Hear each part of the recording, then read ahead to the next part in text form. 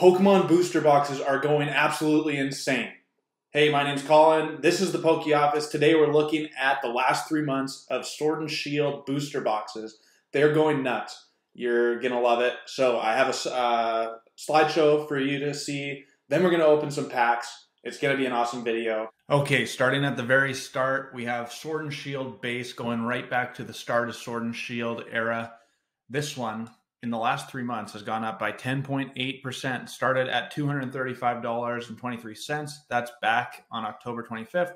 Today, upwards of $260. So it's taken a big jump in the last, uh, I want to say even the last month. Kind of end of November, it started climbing and it maybe has leveled off a little bit. But Sword and Shield base going insanely good, 10.8% up. Moving on to Rebel Clash, we have 14.46% increase over the last three months. So it started at $189.24 on October 25th. Then we it took a little bit of a, a down, but barely. And then it has just been straight up climbing over the $200 mark into the 215 range which is also insane 14.46% increase. I just don't like, I get it. They're old. These uh, Sword and Shield base set plus Rebel Clash, old, but there is no cards that that are worth a lot of money. It's just the fact that they're old, they're out of print. I don't think Pokemon is going to be reprinting these sets anytime soon, if ever. So these booster boxes are just getting harder and harder to find. Now, moving to Darkness Ablaze, this one we're going to see a little bit different.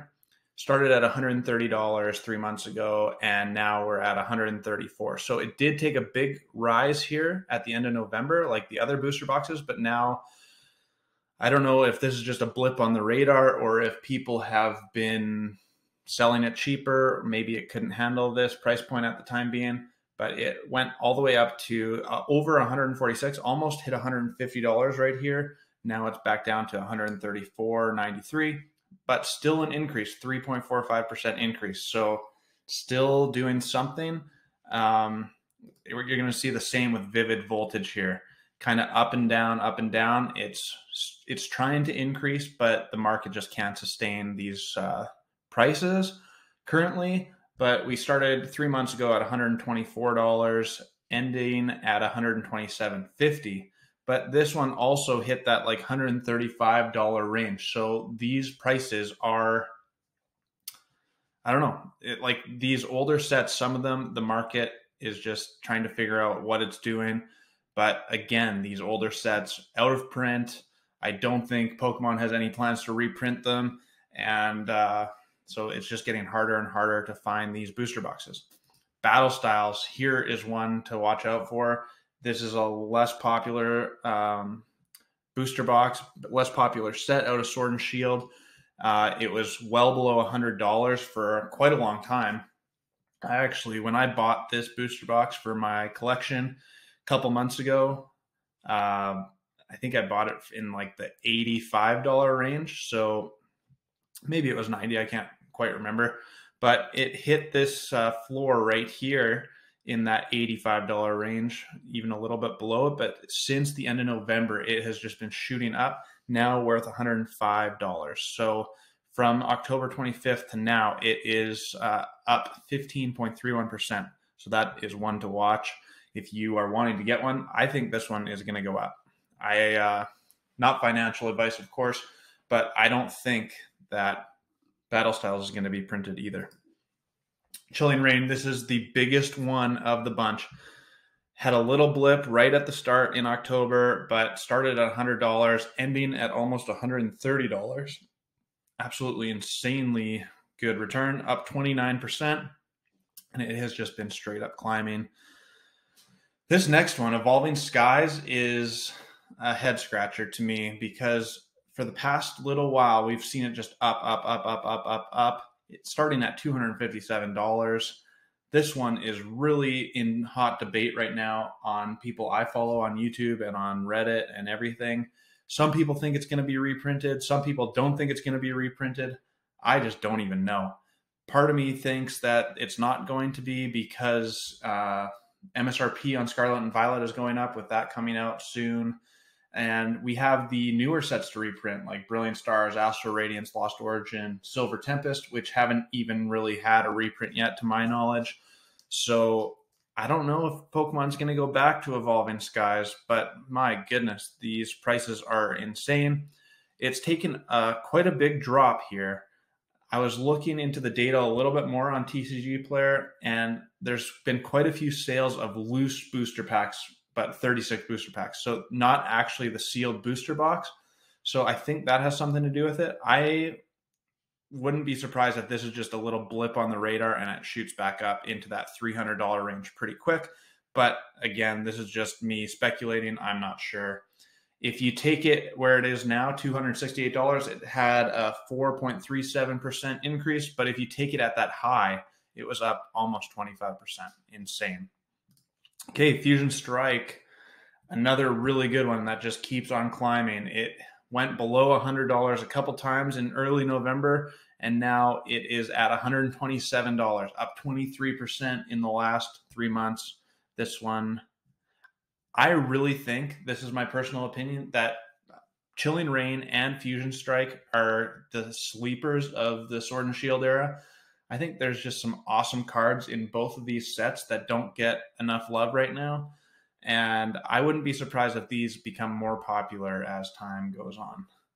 Okay, moving on, we're into the 2022 sets. So these ones all came out in 2022, starting with Brilliant Stars.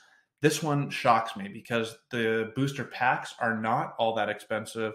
The booster box on TCG Player keeps going up. It's up 9.59% up to $184.72 you can still buy this booster box on PokemonCenter.com for MSRP. So I don't know why this one keeps increasing, uh, but it does. So this is a popular set. It's got the Charizard, it's got the Arceus.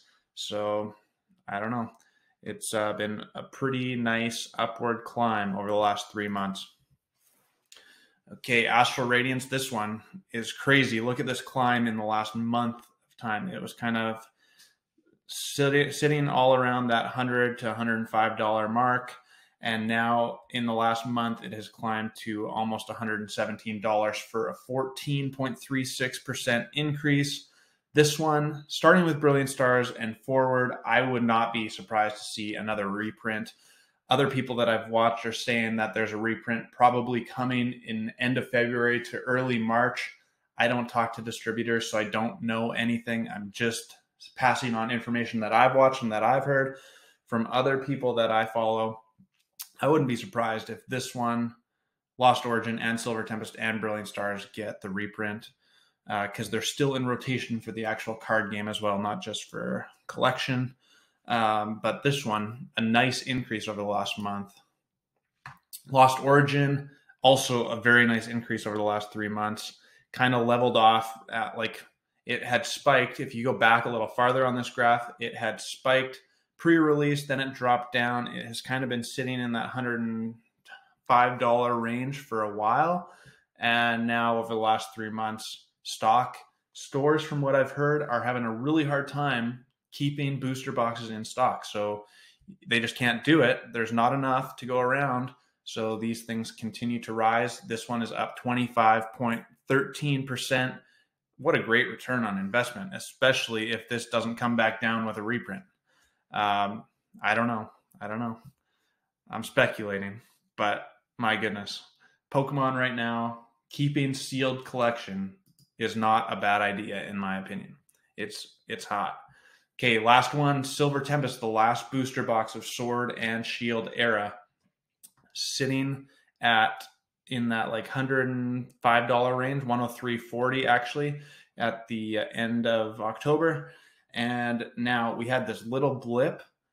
I think that's what we're going to see on the uh, on the other one there too. Evolving Skies is going to have a little blip and then go up. But Silver Tempest had this little blip. That might just be a one-off sale on TCG Player to cause that. Someone sold really cheap or something or a glitch. I'm not sure. But then right back up and now it has been on the climb again up to $125.08 which is almost a 21% increase over the last three months. And if you can continue getting 20% increases over three months, you're going to be a rich man in very short order. Now, I know that might not be feasible for the long term, but these 20% gains are awesome. So now, of course, we're going to open some packs on the Poke Office. Let's uh, get into it. I have five packs of Silver Tempest, Lost Origin, Fusion Strike, and Chilling Reign. So let's see if we can pull some bangers. Okay, so let me know what uh, you thought about that slideshow.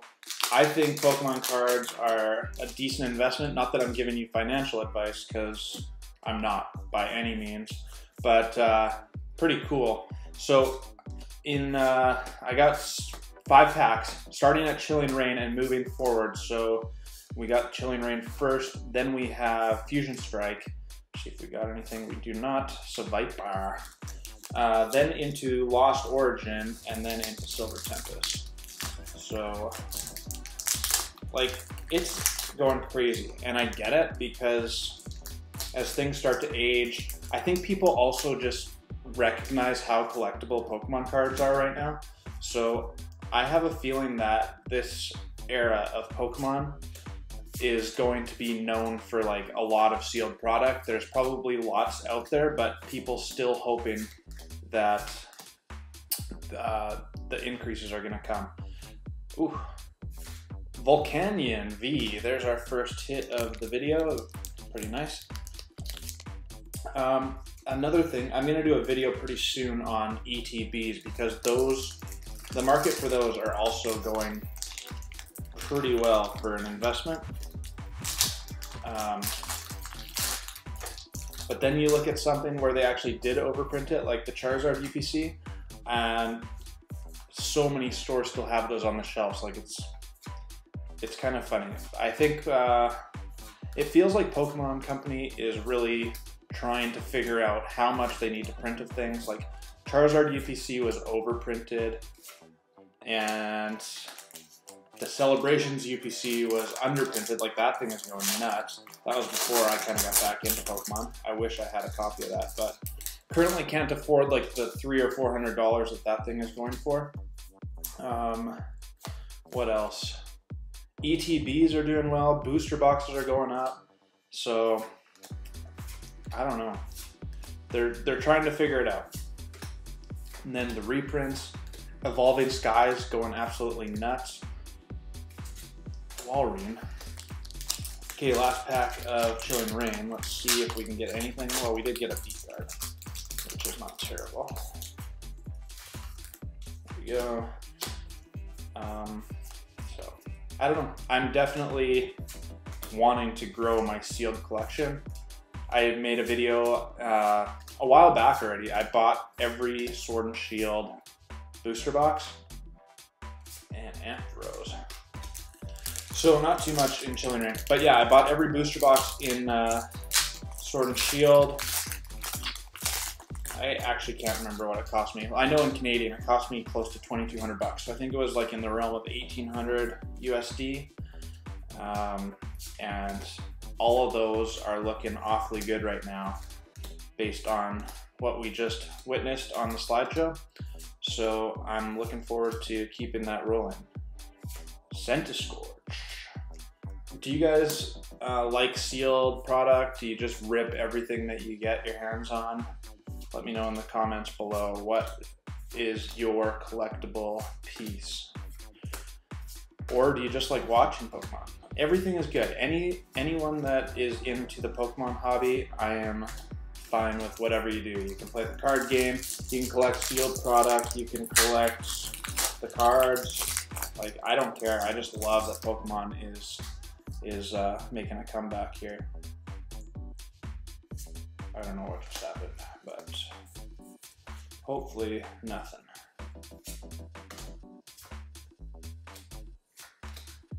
Come on, baby. Claydol. Alright, my hands are uh, not doing well with ripping the Pokemon cards right now. I keep grabbing extra ones. So, got to work on that. Come on. Hit the like button if you haven't yet. Give me some good luck. I can feel it through the screen. You know it, baby. See what we got. I feel like we got something. Yeah, we do. Come on, three, two, one. Gengar. Sick. One of my favorite all-time Pokemon, honestly. If only it was the alt art. If only. We got one more chance at it, though. Alright. Last pack of Fusion Strike. So what can we do with it? What can we do with it? Latios. Alright, so we are not running too hot right now. Hopefully, Lost Origin can change everything. Pull the Giratina, I'm gonna lose my mind, and then... I wish. Speaking of Giratina, the gold Giratina coming out, seeing the cards from Crown Zenith look amazing. Radiant Steelix into a Basculegion. Holo. Alright, we got the Radiant Steelix card. Not too bad. Not too bad. I don't think it's worth very much, but we'll put it up on the board anyways as a hit. That's what's so nice about these newer sets. They got all the uh, chances at Radiant cards, at the Trainer Gallery. Apparently, from what I've been watching, the Crown Zenith pull rate is it's actually hard to get all of the reverse holos because there's so many Galarian Gallery cards in it. Spiritomb. So one of the guys I watch actually like he's trying to complete a total master set, which means all of the regular cards plus all of the reverse holo cards in there as well. And he's missing quite a few of them because the pull rates are so big on the Galarian Gallery because there's 70 of them rather than 30. So you're just you're pulling a Galarian Gallery card like in half the packs or something like that. It's insane. Another Radiant card and into a Porygon Z. So two Radiant cards out of Lost Origin today. Interesting. Not really what we want, but we'll keep going. Two packs left of Radi or Lost Origin. And then into Silver Tempest. Still, look at that. Quality control Pokemon. My goodness, it is not been good. It's actually really sad the other thing that I've been seeing, apparently, Crown Zenith is better. There's a Gengar. It's all about Gengar today, baby. That's awesome. Hoopa. But yeah, from what I've been seeing, the quality control on Crown Zenith is better, but still not very good. Like some of the Pikachu alt, not alt, uh, Pikachu secret rares are way off center. Like it's just no good at all. Okay, we got our last pack of Lost Origin. Then we'll move on to Silver Tempest. One more chance, as always, to pull that one card that I want. It's actually multiple, but there's the one. You know what I'm talking about if you've watched any of my videos. Seal into a Comfey. How is that even a rare card? I don't get it. Whatever. Okay, Silver Tempest, here we go the uh, magic has not been there today so far. Could all change. Anyways, we got the booster boxes anyways, and they are going crazy, which I like a lot. Come on now. Donphan into a Metagross Holo.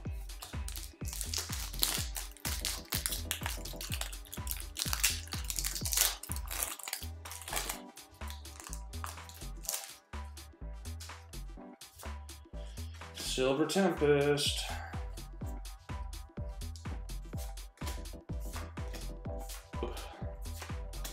I am really curious to know what these reprints are going to do in Sword and Shield. Earth and Sealstone. Alright, alright. Um, yeah, like like I said during the presentation, I I've heard some speculation that there's going to be no reprints. I don't think that's true. I've heard lots of speculation that there's going to be a few reprints end of February, early March, right before Scarlet and Violet. And then people are saying, like, oh, they won't reprint this stuff because of the yellow borders moving to silver borders. Like, I think that's just paint on the cardboard. So I don't think that's it. Kricketune V. Sweet. Talonflame. That is number 20, or sorry, number 12. Can't read. Um, but these cards are still in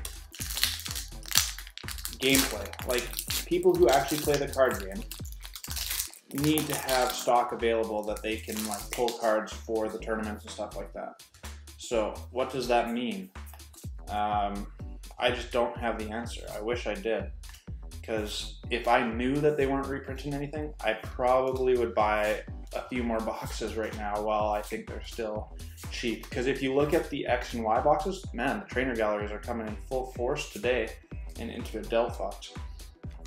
If you look at the X and Y era booster boxes, like they're all insanely priced. And it makes sense. They're older now. It's hard to find them. People like they're just those are not going to be reprinted. So if you held on to those for five years now, like the Evolutions one is a thousand bucks, eight hundred bucks, something like that. Like it's insane. So Pokemon cards over time, if it continues to stay popular, this is the last pack by the way. If it continues to stay popular, things might be good. We got a Radiant Alakazam and last card in three, two, one. Gardevoir, non-holo rare. Well, it wasn't the best. We got lots of trainer galleries out of the last two, Lost Origin and Silver Tempest. Not a ton else. Let's just quickly take a look. We got Radiant Alakazam, we got the Jynx, we got the Kricketune V trainer gallery card, we got Radiant Gardevoir, we got Radiant Steelix, we got the Gengar trainer gallery, and then we got the regular Gengar V, cool looking card, and a Volcanion V. All right, that's gonna do it. Make sure to let me know if you like this type of content. The booster boxes, in my opinion, of Pokemon are just going crazy right now. I think it's gonna continue whether the reprints come or not. There always seem to be a good option if you're willing to hold on to them for a few years. But let me know what you think. I'm curious. I will respond. My name is Colin. This is the Poke Office. I'll see you on my next video.